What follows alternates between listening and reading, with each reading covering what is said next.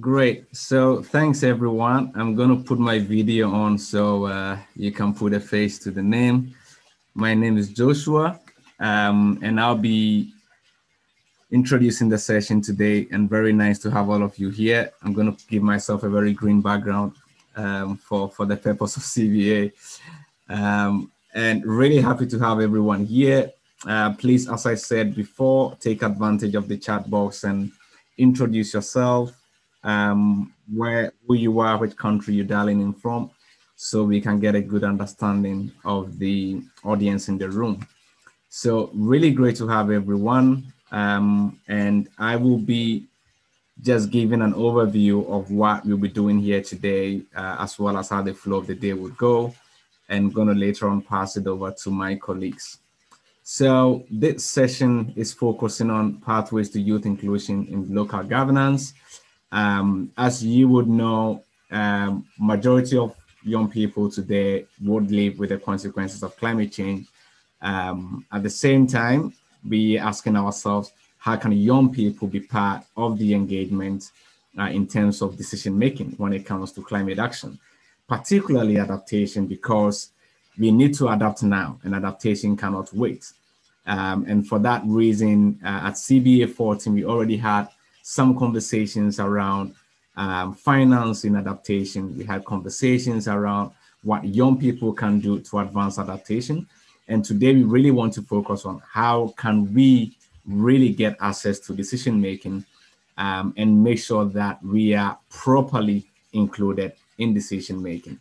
Uh, from the perspective of uh, uh, the co-host of the event, uh, today's session, Green Africa Youth Organization, and Youngo, the official youth constituency of the UNFCCC and the Youth Adaptation Network of the Global Center on Adaptation uh, we believe that true inclusion means that young people are not tokenized, their voices are rightfully included, um, at the same time making sure that their inclusion is supported significantly, being it capacity, understanding knowledge, or whatever. But to do that, we want to take advantage of this event to really hear some of the good practices, experiences, lessons learned, um, and also make sure that we are promoting cooperative action between different sectors and entities when it comes to local governance level. Because while adaptation decisions are taken at the international uh, level in terms of policies and frameworks, we know that adaptation action itself happens locally. And today, together with you and our panelists, we will be working together to define what this could look like. So few housekeeping uh, uh, for us. So if you are not talking us on every virtual uh, uh, meeting now over the past two years when COVID visited us, you know that it's very great if everyone stays muted until you are talking. That is very, very helpful for us. Um, additionally, please, when you have a question that comes to your mind, please feel free to drop the question right in the chat box and we will take care of it and make sure that the speakers um, can address it in due time. So instead of holding your questions back for us to open a Q&A, which might sometimes happen that people forget, just drop your questions, your comments, all in the chat box. And once speakers are done talking, we will provide the opportunity for you to get answers to your questions. So that is how it's gonna go. Be in some few minutes um, or few seconds, I'm going to open an interactive session where we also hear some feedback from you. Uh, I will uh, mentioned that we want the session to be as interactive as possible, which means we want to hear from you. So please uh, take advantage when the opportunity comes up that you share your thoughts with us. Later on, there'll be a breakout room. Um, and the technical side of it for if you've not engaged in a breakout room before is that I'm going to assign you to the rooms um, and afterwards the room will close down and you all come back to this main session with all of us. So please don't leave the, the, the, the meeting or the session when you are done with your breakout rooms. The session will not be over yet. You come back to the main room and we'll continue again.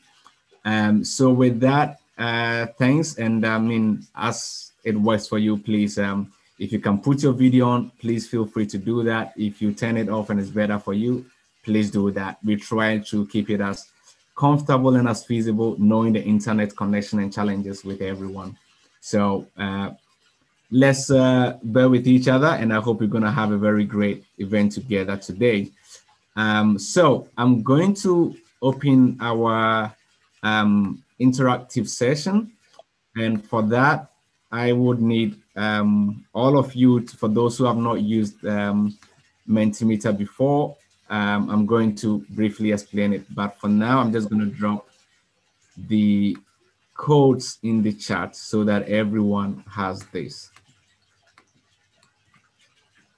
Great. So this is the code, and I'm going to share my screen in a bit so you all have access um, to the, the to the Mentimeter so that you know how we will be doing it. Great. Okay, so here also you get a direct link which you can use uh, to vote. And for now, I will share my screen.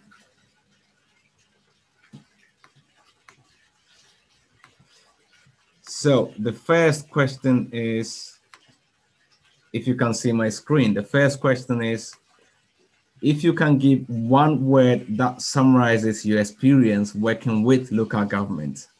So please, um, you go to menti.com, uh, type in the code 87158998 and put your answer, uh, and we're going to see it on the screen. So if you've had a chance working with local government before, which means municipalities, um, uh, your districts, um, it could even be really like very small community and working with the representative there. Um, what is your experience working with them? And we can already see some of the responses coming through. So knowledgeable, which is really great, uh, challenging, frustrating, Um, so challenging seems to be the big word. Okay, um, tedious, um, lengthy. Okay, uh, a lot of conversations before you get to your point. I, I guess um, my interpretation of lengthy. Okay, please keep the answers coming. Challenging seems to be the main word. This is very big bureaucracy. Great. Oh, not existent. So in some cases, it's not even practical to work with local government. Interesting. All right, there are some positive ones. Um, I see connected, uh, the knowledgeable, capacity building, learning from them. Um, I also see quite some difficult ones, including time consuming. Um, yeah, tedious. Great. Uh, we're just going to keep this going. So please keep coming in with your answers. Um, yeah, so if you are wondering how to join, um, just go to menti.com and put the code 87158998 or use the link in the chat to make your input. One word that summarizes your experience working with local government.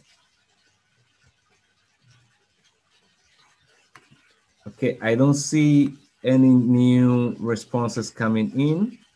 So I will move to the next question. Um, and really thanks for your responses to this because we're going to use this to guide some of the conversation in the breakout rooms as well in terms of how challenging, frustrating, tedious, time consuming it is working together with local government and how to overcome that. Okay, so the next question is this is an open-ended question and what we're trying to understand is if you can describe a little bit uh, of your inclusion in adaptation at the local governance level. And it seems the question is not showing um, on the screen. I'm just gonna stop sharing and reshare again, just to make sure you can see the question.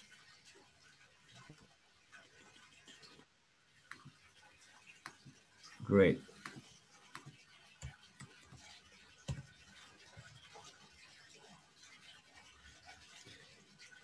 So if you have, if you already went to Menti and you have the code, um, you can already answer to the next question. Um, and that question will be,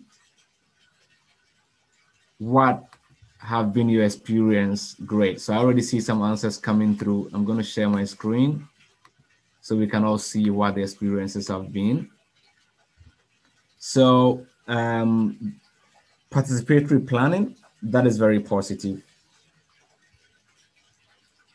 Okay, so someone has the experience of as a consultant with local government, uh, but the person have not been consulted, which is very interesting. So the possibility of bringing you on board to work with them, but not really seeking what your ideas and your inputs are when it comes to adaptation at the local level. Um, it will be great to get more answers coming in. Um, so here we have working with international NGO, not directly, but with local government. Um, that is also great uh, to see that some people here have already uh, worked with local government uh, when it comes to youth and inclusion uh, in adaptation planning locally. So great. So we have someone even working on the youth strategy uh, in Ghana. Um, then we have issues like uh, changing minds in terms of adaptation including inclusion in different fields. So that is a very thorough one, which we can also look at later on. Um, then I really like this because this is also part of my personal experience that local government tend to prioritize their own agenda rather than participatory adaptation process, uh, which is something that uh, as we talk about increasing the space for youth inclusion, we would want to know how do we change this narrative of local government prioritizing themselves. Um, then gender and local adaptation also being uh, part of the inclusion process. Great, so really rich inputs uh, and thanks everyone. Um, and here also last one, I would read this before we move on. Minimal programming on leadership development uh, for chief executives. Um, this is also very practical as I know some couple of experiences in sub-Saharan Africa where the, the leadership of the local government office do not always have the full understanding of uh, climate and environmental issues, which makes it very difficult to engage and work with them. Thanks a lot. I'm going to stop sharing my screen now. Um, and we would get into sort of getting our speakers to start sharing with us their experiences. Um, so thanks a lot for everyone who participated in this. At the end of the day, we're going to have another Menti uh, questions which we will look at uh, after we've uh, sort of gone into breakout rooms and discussed. So I'll stop sharing my screen now uh, and thanks everyone again. And for now, I would introduce um, our moderator who will take uh, uh, the event forward in the person of Emily Vernal. Um, Emily is currently in the UK and is part of the Youth Adaptation Network and also part of the UNFPA Joint Working Group looking at the nexus of climate adaptation uh, and the work around gender, reproductive health. Um, and she has been vibrant in other many other spaces like the United Nations uh, Major Group for Children and Youth. Emily, uh, I'll pass it over to you to take us forward with today's event. And thank you, everyone. Thank you very much, Josh, for the introduction and for the introduction to the session. And it's my pleasure to support this vitally important um, workshop today at CBA 15 on youth inclusion pathways and local governance. And I'm pleased to be a moderator for this session. So I'd just like to say welcome again to everyone who's joined today. And from the Menti, we can see it's great that we've brought together people with wide ranging experiences of working with local governments with different successes, barriers, and access points for young people. And I look forward to the rich inputs and dialogues we'll have in this session and the ensuing breakout sessions in a bit. So it's clear that the world has seen powerful youth led climate and environmental action campaigns spring up all over the world in the last few years, from the grassroots and hyperlocal to the cross border and cross cultural international movements. But they're all united by the fact that their shared commonality is that they're often driven and sustained by the voices and energy of young people, the generation that would be most affected by the action or indeed the inaction of decision makers, stakeholders, and the primary emitters. Young people, however, face many barriers to meaningful youth inclusion in climate governance spaces.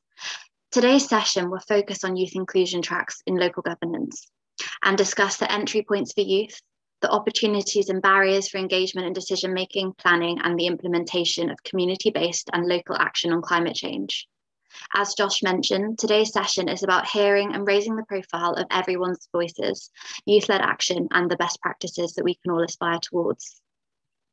So before I introduce our panelists and speakers for today's session, I would like to briefly introduce the workshop's guiding questions, which will lead and direct our conversations today, both between the speakers and when we go into breakout rooms and we can dive deeper into our personal stories, best practices and experiences.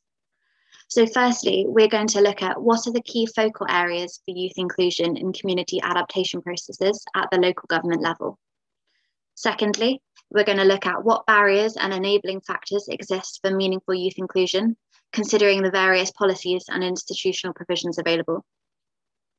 Thirdly, how can young people be supported to gain greater access to decision-making spaces, looking at the inclusivity of youth-led opportunities? And how do we ensure effective youth inclusion in local adaptation planning and implementation? So I'm now going to introduce our first speaker, we are joined by, by Eldad Akom of the Green Africa, Africa Youth Organization.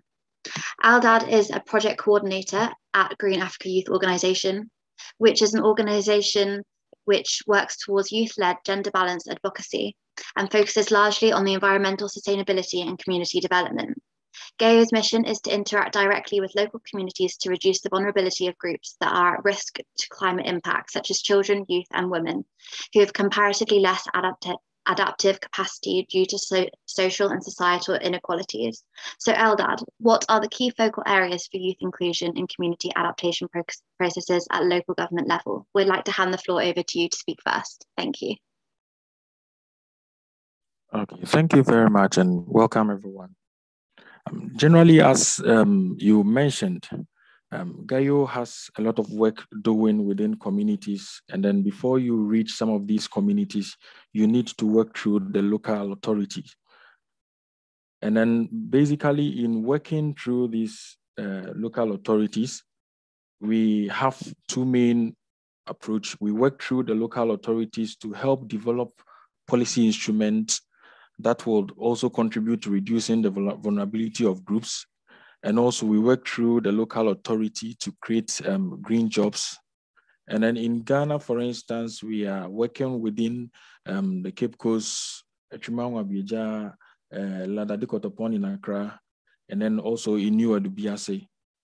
And then um, one of the ways that one of, one of the ways that youth inclusion can be can be can be can be seen in some of these engagements is how our projects influence local bylaws on waste management in particular, and then how through our engagements we are able to because uh, when you look at the informal waste sector, for instance, we are predominantly um, young people and then and then and women. So what we do also is to work together with the local communities to formalize and then coordinate the informal waste sector. So um, I, I, hope I'm, I'm said.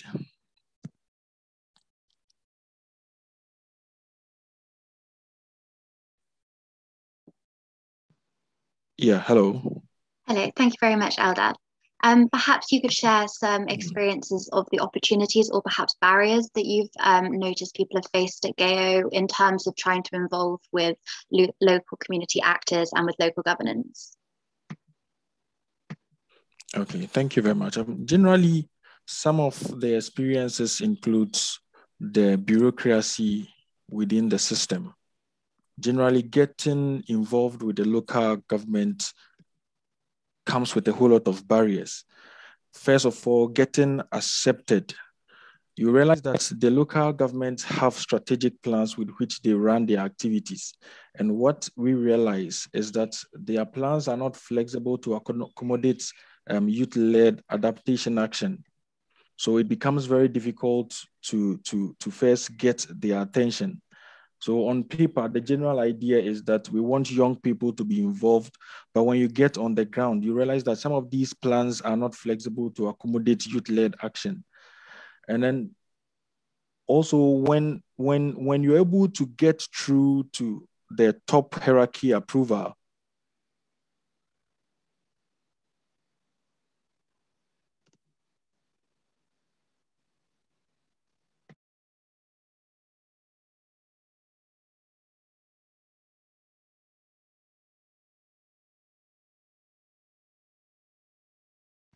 Are you still with us, Eldad?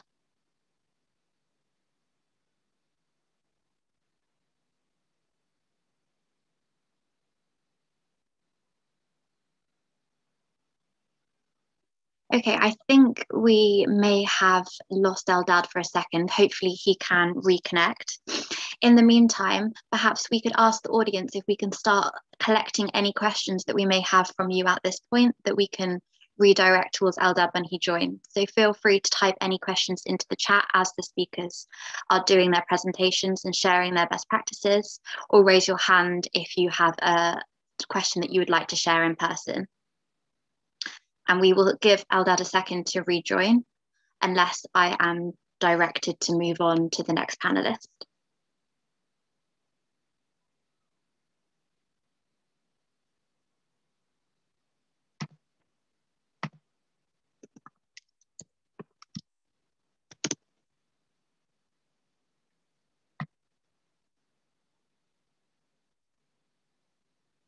Okay, I think we'll have to come back to Eldad if he can rejoin.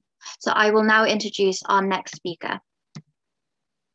So second to share their experiences of involvement with local um, governance structures and youth involvement in um, community and local governance um, projects is Marie-Claire Graf, who is from Youngo. Marie-Claire is an ambitious climate action and sustainable development activist and a co-founder of several local, national and international initiatives and associations that all focus around empowering children and youth to catalyse positive, meaningful and impactful change. So as Youngo's focal point at the UNFCCC, she is working to empower youth to formally bring our voices to the UNFCCC and demand urgent and unprecedented ambitious climate action and she'll be able to provide a wealth of experience on youth access to decision making processes from the local to the international. So Marie-Claire, please could you um, join us on the floor now to share with us your thoughts and experiences on youth access and entry points to decision-making processes and how young people can be better supported to gain greater, greater access to decision-making spaces. Thank you. Thank you so much, Emily, for giving me the floor. And thank you so much for hosting this conference. Very important to really have a dedicated session for young people where we also feel welcome. And also very important that we actually talk about decision making. Because we see young people all around the globe on the streets, we see young people leading on implementation, but where we do not see young people so often is in decision making. And it's so important that young people are in decision making because we um, have to ensure that the frameworks, the political decisions are made in a way that actually they're supporting our efforts. And unfortunately, especially on the international level, but also on the national and the local level, well, we mostly see people from another generation. And it's on top of all of this, very, very unattractive for young people to get in. As mentioned in my, in, in my introduction, I am engaged in the United Nations climate change process, but also on the national level um, with the government on the environment, kind of trying to implement this international agenda, and then also on the very local level. And wherever I work with policy, um, you kind of see like the same type of people very often. It's like this, yeah, older guy who is there, right, talking in abbreviations most young people do not understand. It's very, um, it's very distant and not and not really, yeah, kind of engaging. And what um, I am working on, as, as you mentioned, I work for, for a youth network um, called Youngo. It's a combination of youth NGOs to try to ensure that young people have a safe space where they can express themselves, where they feel comfortable to ask the questions, where they are, are comfortable to, to build networks, to then build also the capacity to actually go into these negotiations, go into decision making um, structures and raise their voices. Um, and we have been doing this very successfully on international level now since, I mean, since 30 years, young people are involved officially. Formally, we are engaged since 10 years. Um, but now as we have like an international agreement and we have to move to action, right? Um, it's more and more coming down to the national and local level. And what we again see there that very often the structure, decision-making structures are kind of very ex exclusive.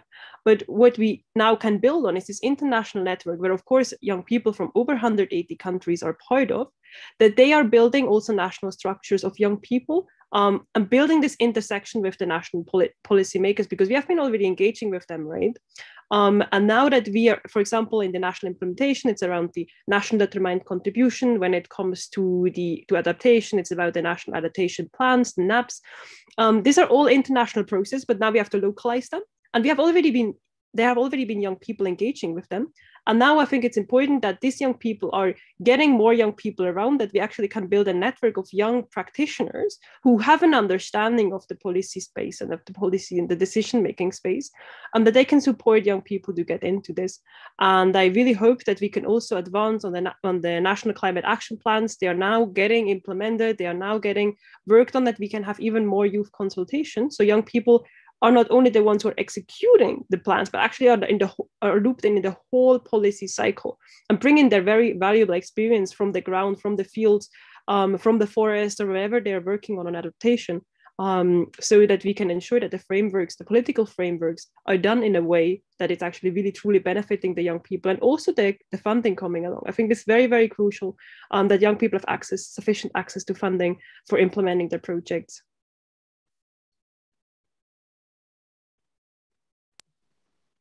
Thank you very much, Marie Claire. That was honestly some fantastic insights into your experience and also the barriers and opportunities that young people are facing all over the world through your, that you've seen through your networks.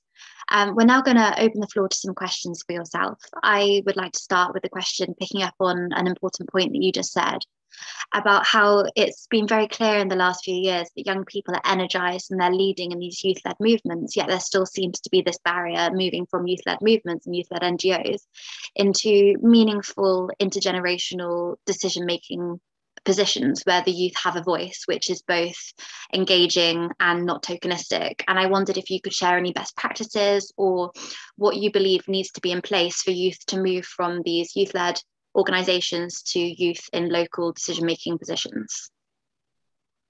Yeah, absolutely. Very, very relevant question. And what we can do um, is that we are reaching out to the governments because very often they it doesn't occur to them that actually they could reach out to us. Very often they do not think about having, for example, someone young in the team. They do not think that having maybe a youth advisory board or giving at least one seat to a young person um, so I think it really needs to start with us because we do we, we do not have the time until maybe in five years they maybe it occurs to them that maybe they could have a young person on board. So I think it really needs to come from our side that we are reaching out, that we are also a credible source. So of course, like we have to try to understand the spaces and where we can come in. And it's also like where Youngo is very happy to help as a network of, of extensive experience. Um, but also where you find young people who have been do- doing this on the ground. So I think it's very important to be proactive and reaching out. I know it is not easy for many young people in many countries around the world where maybe it's like a very um, traditional old fashioned system. Nevertheless I, I, would really love to encourage young people to to feel empowered to do so um, and also like yeah ask for, for support from young people because this is i think the quickest way how we can ensure that we have youth voices represented. Um, but also uh, to to work on um, on on like local projects but try to bring them or like um, for example, when you do adaptation projects, try to ensure that the project is not only done in a way um, like, okay, this is the youth project somewhere out there, but if there is a national big project, that they have a youth um, voice like directly included so that you can maybe like either link your work to, an, to a bigger national project or you can ensure when a bigger project is, is implemented that um, we can we can bring in um, yeah young people in into this um, so I think it's important that we are that we are proactive because we have. I think that we have kind of we are told like, okay, young people, you have to wait. Um, you you're not the ones who are leading on a discussion, and I think we have to get out of this sometimes a little bit uh, reactive position into a proactive um, position when it comes to decision making and also like be clear we do not know everything. This is fine because also the older generation they do not know everything. But really point out the value what young people can bring to the table. We are like very often the ones who are very well educated because we're just coming from university. We have the access to the best available science um, very often we are like digitally like digital natives or like very close to digital tools. We have access to innovation. We have we have a lot of access also to, to a global network of young people for example through youngo we should make use of them because actually like very often this is what is lacking in the older generations. Um, and uh, like really pointing out these strengths and hopefully this will convince them. And also please do not give up. It's very hard. I have been myself in these spaces for a very long time, and it's very easy to get frustrated and drop out. But please stay in. Um, and there will be like after this this valley of death or whatever we want to call it of frustration, it will go up. And if you understand the space, if you have your network, I can I really believe it's a very, very important and valuable um, space to be in but it's frustrating. It's it takes a long time. It's it's not the most attractive. Also, when you tell, to your friends like you're in some decision making structure, they're probably not going to be like so. Oh my god, this is awesome. Um, but it, it's truly important. So please um, stick around, even if it's maybe not the easiest task. Sorry, I was on mute there.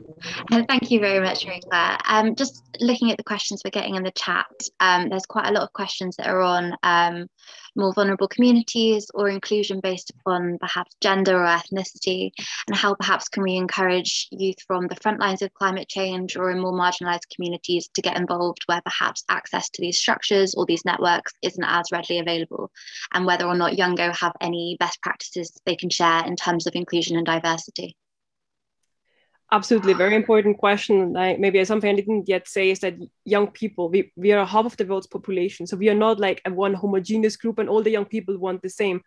Many of us uh, uh, were, were, were fighting for, for, against the climate crisis we want to have ambitious action but even like how this ambitious action looks like is very different from, from the different backgrounds and countries. So it's very important to Youngo that we have a truly inclusive network. Um, as mentioned, we have young people from over 180 countries, but even then, I mean, just having people from different countries doesn't make it inclusive. And yes, we have to get better. We have to reach out in local languages to even more young people. The UN um, is very often in English. Um, that's why we also, for example, adapted our global conference of youth into local conference of youth. So everyone can kind of take the concept and organize a local conference of youth in the language they desire. So it can be Spanish, French, um, Italian, uh, Russian, Chinese, but it can also be a, a local language only spoken by, let's say, an indigenous tribe. And they can then submit their outcome document, which then need, of course, be translated into one of the UN languages. And then we can integrate this in the global um, in the global uh, declaration or in the global um, the global report so we can hopefully try to ensure to reach these people even better um, on the other hand, I think it's very important for us to be mindful when we have the opportunity to speak on this high level panel that we are representing so many different voices and also clearly point out um, the struggles of the people who are living on the front line. For many of them, it's already now, or it was already in the past about life and death. And there are so many young people who already have been seriously affected by the climate crisis. It's not something we are like in the future at one point. It's it's going it's coming right? Um, and i think this is very important. We do um, have for example a gender working group within Youngo we have an indigenous working group within Youngo we work very um, closely together with other groups um, who are who are working on this. And we're also truly interested to becoming better right? I mean we are not yet perfect. And if you have any ideas on, on how we can even be more inclusive and transparent um, yeah we would love to learn from you and also engage with you further Thank you very much. I think that's such an important point. The youth are not a monolithic or homogenous group, and we must recognise that when, when there are youth inclusion tracks and youth inclusion pathways at any local governments or international government structure and process, that we must remember that this is representing multiple and perhaps diverse and differing opinions, viewpoints, and experiences on climate change and climate change adaptation.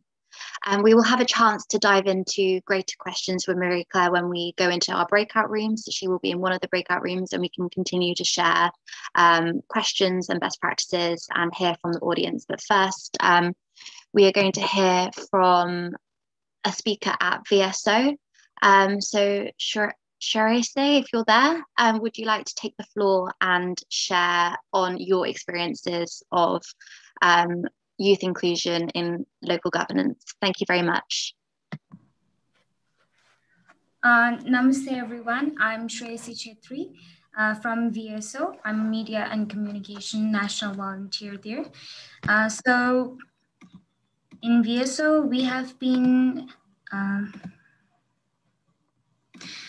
in VSO, we have been, um, uh, we have been uh, we have been uh, um, conducting uh, um, a project, Prayas, which is promoting, uh, promoting inclusive resilience and accountability through youth association strengthening.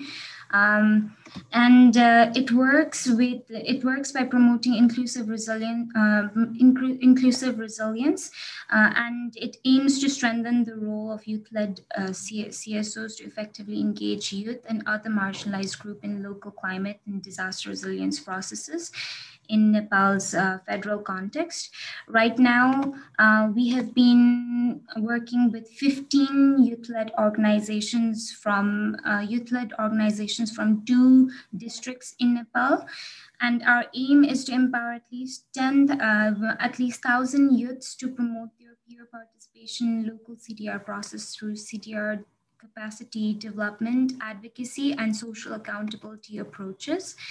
Uh, we have been um, the the youth over there, the youth uh, youth over there have been capacitated, uh, engaging them in uh, community scorecard to review the youth responsiveness in their uh, civil society organization, the organization that they have been working in, um, and um, basically civil society, uh, the civil society organization, they exercised the community scorecard, which is an accountability approach where the quality of provided services are scored. Um, they engage the local community people, at least um, the local community people, and scored the services provided by their community uh, civil by their civil society organization discussed individual indicators to assess their current status on youth responsiveness and internal good governance. Um, they developed an action plan and are in the state of implementing those plans. Some of the while uh, some of the youth-led uh, civil society organizations have also uh, are also in the process of revising their organizational policies according to the uh, according to the results from the um, commu from the com community scorecard. Um, the youth in the district, uh, the youth in the target districts have also been engaging local experts, local community, and local government for risk assessment uh, and uh, resilience another vital role that they have played uh, is making a rapport between the youth of the community and uh, and the vulnerable segment of the community with the government and making them aware about the government plans and policies for the implementation of resilience action plan. They have also been advocating um, about allocating more fund for to build the community resilience, uh, build community resilience, um, resilience in the um, local government budget. So one of the major um, major areas that have been focused by Prayas uh, from VSO is partnership of the youth with the local government, uh, social accountability activities to sensitize the um, duty bearers, the local government have also been um, conducted, and um, so that the duty bearers become more accountable for inclusive and responsive approaches.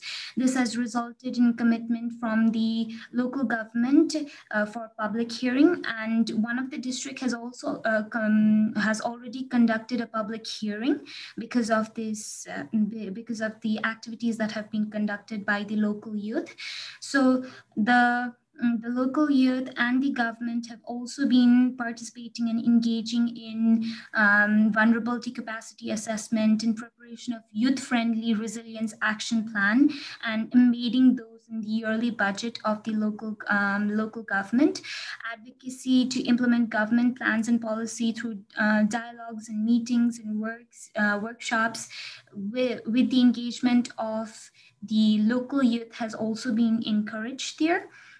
Um, so the youth community and um, school and vulnerable segment of the uh, society have been made aware of all of these government plans that they have been uh, trying to implement in the resilience uh, resilience action about um, resilience action plan.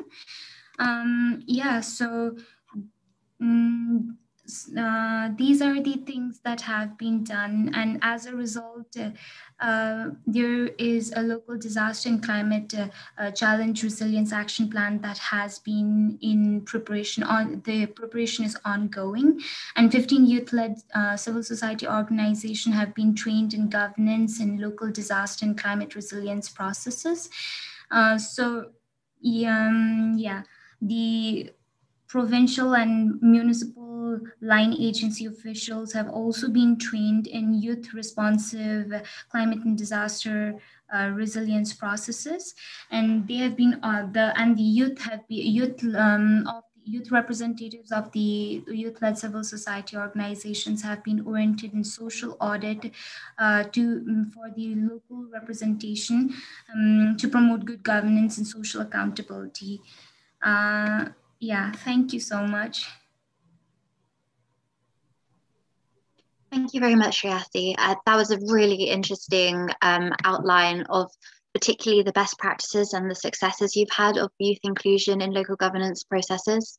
It was really interesting to hear the way that youth are involved in the accountability and evaluation process, the way that a lot of the resilience action plans have been made youth centric and specifically include inclusory of um, the youth-led civil society organisations, and also the way that youth have been included in the training and capacity building on resilience and disaster measures. So that was really, really um, insightful. Thank you very much for sharing. We would like to just ask all of the audience again if you have any final questions um, to put towards either Shreyasi or Eldad, who I believe has been able to rejoin the conversation before we go into our breakout room. So feel free to post your questions in the chat or use the raise hand function if you would like to to share any further questions before we go to our breakout rooms.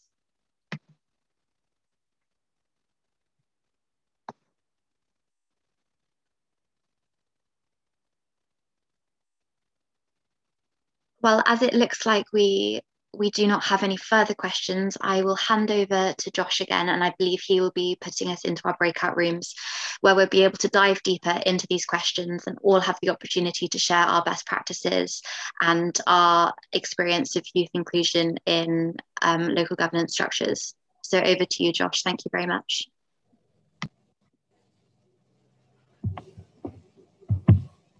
Hi, everyone. Uh, so I'm just going to share my screen. Uh, so we're going to get into breakout rooms and thanks to all the speakers for the insights. Um, yeah, Eldad's experience on facing the bureaucracy at the local government level uh, and the unwillingness to listen to young people particularly, uh, plus what he said about um, the, the local government not necessarily ready to accept views of young people or even work together with young people because of how they are structured and to Marie Claire's um, taking it from the global perspective in terms of decision making and bringing it down to uh, what her experiences working with youth um, and sort of the heterogeneous nature of youth, sort of youth not being one big group, but also groups of different uh, um, needs and, and, and demands. Uh, that is very essential. And also with the experience and accountability in, in Nepal. So we will get into breakout rooms and in the breakout rooms, what we will try to do is still explore these questions further and pick up on what the speaker said um, and also really give the chance for um, i was looking at the chat and also realizing that uh, the audience have their own experiences as participants of this event have your own experiences around these topics and to really bring your experiences to what the speakers have shared so that we can really map out what will be the best way to overcome some of these challenges and how to answer these questions um, with the session ultimately wants to answer at the end of the day. So you, your screen is going to pop up. Uh, you're going to be assigned into a room. Uh, and uh, as I said before, please, um, after the after you're done with the breakout room, do not leave the meeting completely. Come back to the main plenary um, so that we can wrap up before you leave the event. So we hope to have all of you back uh, at the end of the day. So um, in a click, you should your screen should open, um, and you have facilitators for the breakout room. So uh, uh, who is from Kenya uh, and also part of the Youth Adaptation Network, and, and Youngo will be moderating the room with Marie Claire. Uh, and Emily, together with Eldad, uh, would also moderate um, a second room, which would also get the chance to hear from all of you, and particularly another case study from uh, Burundi um, in that room from Louis Second Mugisha. So I'm going to open the rooms now um, and see you all back in the plenary soon. So please uh, accept to join the room um, and see you in a bit. Thanks. Thank you very much. So now um, the moderators of each group are going to share a summary of what was discussed um, and we'll be able to look at the commonalities and the synergies between between the best practices and barriers and opportunities that were discussed and and kind of draw some conclusions on youth inclusion pathways in local governance. Um, we had a few internet issues in in my breakout room. Actually, no, I was breakout room two. So we'll go first to breakout room one. Um, I believe Lisa was um, moderating this. Lisa, can you hear me? And confirm if that was the case? Yes, yes, I was the one. Uh, please um, feel free to share your um, summary of the group. Okay, sure. So uh, basically, the uh, we uh, Marie Claire highlighted the bit of youth being strategic, and uh, we need to encourage each other because it's it's not an easy space to be, mostly when we need to be included in the decision making processes. But we shouldn't give up, and we should support each other. And there was a question. Uh, there was a a story, a capacity, uh, a, a successful story regarding youth in, uh, involvement with the government from Rohit eh, from Nepal, whereby he shared how how they are training their youths um, but to make uh, are training their youth to be aggressive and empowering them and uh, giving them the necessary skills that they need to uh, work with the government. And th their story is successful because they are they are holding even uh, training schedules with the government to keep them accountable of what they have said they need to deliver. So I consider that that is an encouragement story for the rest of us because and the bit that we need to work together and support each other and have one voice as we approach these government institutions and representatives.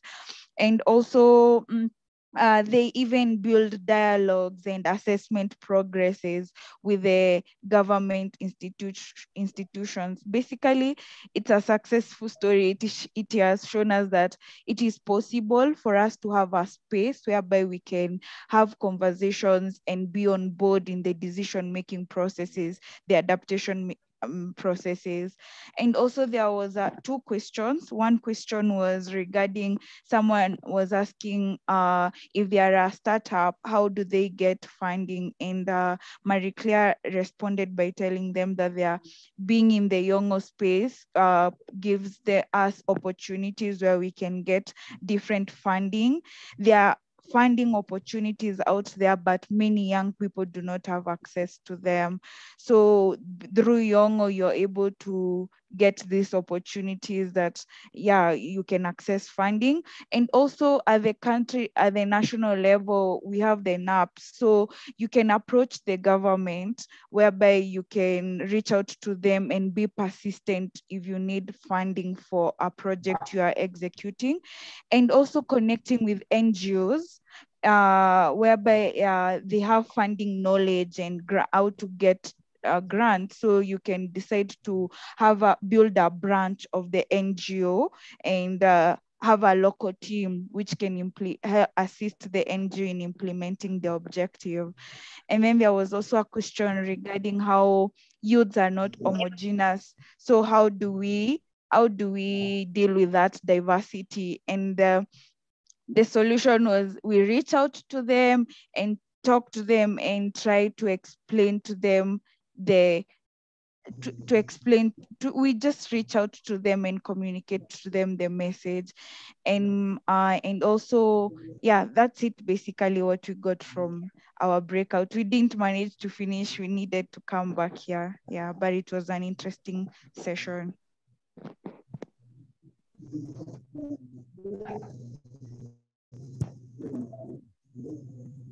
Back to you, Emily. Back to you, Emily. Thank you very much, Lisa. Um, Thank you very much, Lisa. Um, unfortunately, due to internet issues, we did not manage to hear from Eldad or from Louis in our room. Um, wait, Louis got his hand raised, so I will just, um, if he if he is able to quickly share something now, as he was not able to before. Yeah, thank you very much. Do you get me? Hello? Hello, we can hear. Hello, we can hear. Okay. I am Luis Ogomugisha, as it has been said. I am from Burundi, a country which is located in East Africa. I am excited in Burundi during this conference, which place working with the program of in these last days, mainly in April, there has been the rising waters of Lake Tanganyika which resulted in the flooding where people lost their properties, such as houses, home materials, farms, etc. Due to that, people from Gatumba and Kajaga were obliged to move from those areas to other places which are far from the lake. And around uh, 50,000 people were affected according to OEM the document is available. Uh, you can search on internet and uh, you can get it. And the main causes are uh, no compliance with statistical standards allowed to occupy surfaces which are dangerous for human beings, citizens who whose are not mobilized on the problems which could endanger their life in occupying those dangerous places. Also due to the pollution caused by industries and surrounding mountains where the water from rivers uh, that surround the lake goes immediately in the lake. Uh, they go immediately in the lake because there are uh, there are silk trees on those mountains. Uh, we should note that uh, Lake Tanganyika is the deepest lake after Lake Baikal, which is the first in the world. Uh, that is Tanganyika is the second uh, lake, which is deeper uh, after Baikal. Uh, Tanganyika Lake also is, is the lake which has a fresh water that you can wash and drink without effect. Also, it is the first one which has a diversity of fishes that you cannot find elsewhere in the world. We can understand by that that it is an international property that should be protected.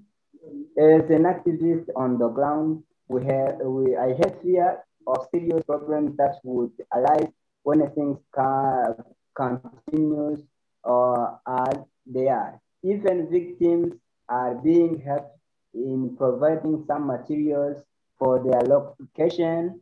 It is not enough, and I would suggest this people should be sensitized on the problems that could endanger their life in respecting the norms fixed by the government, trainings on some effects that could arise by organizing conferences and teaching in the community on how the environment should be protected by calling their attention. Also, leaders should be careful and be the first one to take into account that issue by fixing measures to be respected in preventing problems in advance. As an activist on the ground, we have a hope that things will change due to the information people are getting and due to strategies which are being used in order to prevent those problems. Thank you very much. Thank you. Thank you. Thank you. Thank you, Louis. Um, I will just very briefly um, share my contribution from the second breakout room, um, but we're short on time, so I'll just keep it brief and then hand back to Josh. So um, similar to um, some of the synergies and discussions that Lisa's um, group had in breakout room one, we, despite the fact that we had contributions from Bangladesh, from Cameroon, from the Middle East, from the Philippines, um, one of the key things that came out in terms of barriers was capacity building and knowledge, and the importance of investing both time and financing into capacity building for young people, particularly on disaster response and resilience, and how this can feed into their ability to contribute to local governance. Um, particularly on the example we had from Bangladesh. We had a success story of the um, impact of successful youth capacity building and training exercises and the way that this brought about inclusive and gender balanced um, groups of young individuals who were able able to overcome generational cultural barriers to gender inclusivity and engagement at the local level, which was a really interesting um, and positive success story. Um, another key barrier we had was age, and the way that age is often a marker of respect in cultures all over the world. This came up from multiple geographical contexts. Um, and we looked at the way that that meant that sometimes it can be harder for young people to meaningfully engage if if they are not supposed to culturally raise their voice and have have their opinion voiced in in circles where where age is a matter of respect and younger people are not supposed to have their voices heard. Um, we had a very good example from um, Syria though, where the Syrian crisis um, perhaps brought about new opportunities in young people raising their voice as the crisis um, allowed um, some cultural norms to be subverted and for young people to have more of a voice and more respect in terms of their voice as a result of the crisis. And perhaps we can see that in places which are on the front lines of climate change too, in humanitarian crises. And we also had a very good example um, of a barrier from the Philippines, in which many of the youth councils are often delegated topics that are considered suitable for young people or considered more fun, but they're not given the serious topics.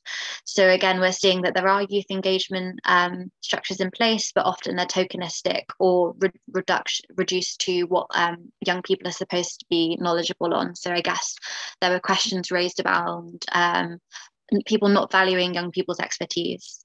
Um, we also had a lot of success stories in terms of the ability of young people to galvanize and rally together and um, the success of training when it was invested in. Um, and like Lisa said, we didn't have time to hear from everyone, and I'm sure there were even more fantastic contributions. And I hope we can keep these conversations and dialogues going offline after the session. Um, and I'll pass back over to Josh. Thank you very much. Thank you, Emily, and thanks everyone. I've been trying to make notes and sharing my screen so everyone can see uh, what we got out of the breakout rooms. Um, thanks a lot to the speakers uh, for sharing these insights with us from the work you do. Um, and just some few things to wrap up the session, which I find very, very interesting is one of the points that came out really looking at windows of opportunities during crisis uh, and using that as, as a moment to really enhance the voice of young people in policy uh, at the local government level. And I, I know that this works because in those moments, there has to be action, there has to be mobilization, and it's really a lesser time to look at gender or cultural or age, those barriers. It's really moments where everyone wants to focus on how do we move forward and really encouraging um, sort of seeing this as a solution, as a way of increasing spaces. Um, the issue of funding uh, very important and um, uh, great to hear sort of Youngo's um, uh, experience of mobilizing finance for youth startups. Um, also uh, mentioning that the Youth Adaptation Network at the G Global Center on Adaptation is also looking at launching a youth adaptation fund uh, or a solutions challenge, which will be launched in September. Um, so something to keep your eyes on. Um, and there are a couple more finance for youth programs that are being uh, that are coming up these days. Still very smaller tickets, not a big funding that you can actually sort of um, do really a lot of projects with, um, and we still need more of that. So something for us to rally on. Um, and really, I cannot sort of uh, express the the excitement to see the point on investing time and finance uh, into capacity building for response at the local government level, knowing that um, this is CBA and most of the people here and the, the communities we work with are dealing with sort of climate hazards on everyday basis. And if you want to really enhance uh, community-based adaptation and local action, this is essential. So thanks everyone, really helpful uh, uh, for us uh, from Youngo side, from Green Africa Youth Organization, and the Youth Adaptation Network. And I hope everyone here, uh, these are very good points for us to take back to the work we do and try to expand on these. Uh, to really conclude the session, I'm just going to open the Mentimeter again. Uh, and, and one more time, uh, you can scan this QR code uh, or go to menti.com and use the code 8715. Uh, and then I will share my screen again for one final question, and then we can wrap up. So the, the question we want to ask to finish the conversation today is uh, for you to share with us uh, sort of one word that summarizes your key lessons from this uh, session. And I think people already started uh, answering before I got here. Uh, so here we go. One word that describes your lessons from this uh, session. Um, and we already have motivating, informative, adaptable.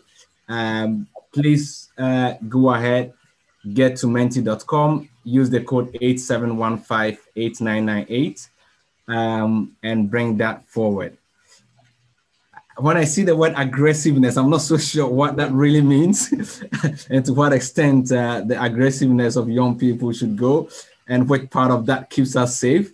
And maybe in CBA 16, we would want to look at uh, security and safety of young activists uh, uh at community level when they do the activism. Uh, but really good to see that as well. Um, unity, inspiring encouragement. Uh, please keep your inputs coming um, because uh, it will be great to get this word cloud as a summary of this session, something we can always look at to see what we got out of the youth inclusion track at CBA 15. So uh, please go to menti.com and use the code uh, to bring your answers to this uh, word cloud. I'm going to allow folks to be able to to join and bring your join and bring your Great. So more are coming in. I see unity, strong in diversity, awesome. Common experiences, that is great. Please keep it coming.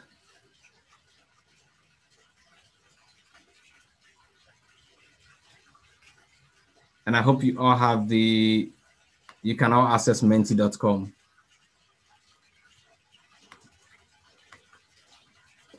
And while I await people to come in, I see a question to me from Dan Robin um, on the, if there's already info on the Youth Adaptation Fund. Uh, there's nothing public yet, uh, but once there is something, uh, I'm going to make sure to circulate it through the the uh, uh, the participant list for for CBA 15, particularly on youth, so that uh, you have access to it. So I would do well to circulate that, and I think that there are a couple of uh, funding that are already out, which are youth led. And I would try to circulate that via email to everyone who registered for this session as well. Uh, because I think there are three different funds that are out um, for youth, particularly youth focused. Uh, small tickets, but very useful for community work. So I'll circulate that around. And I think we should all also work together in creating more of such funds within our institutions and and organizations and our, the donors we work with to create more funds, which are very, very targeted uh, for, for young people. Great. So I think I like what I see now with the word cloud, encouragement being one big word in the middle, um, with more inputs coming in. Thanks a lot, everyone. It was really nice having this session together with all of you.